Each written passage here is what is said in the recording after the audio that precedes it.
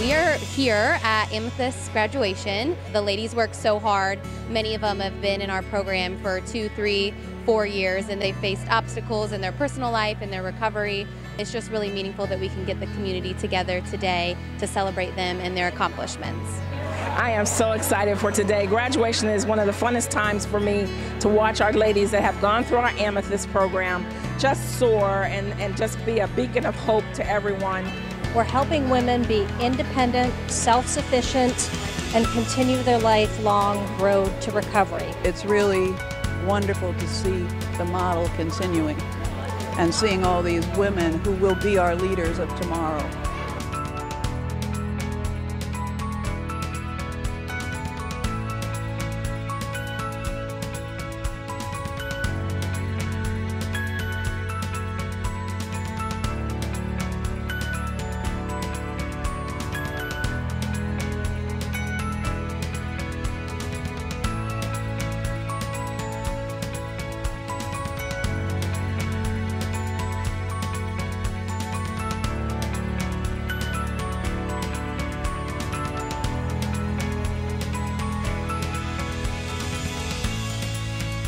I'm very proud of these women who have graduated. They have done some tremendously hard work. We are one of a kind, and I'm, I'm proud to have been a part of that.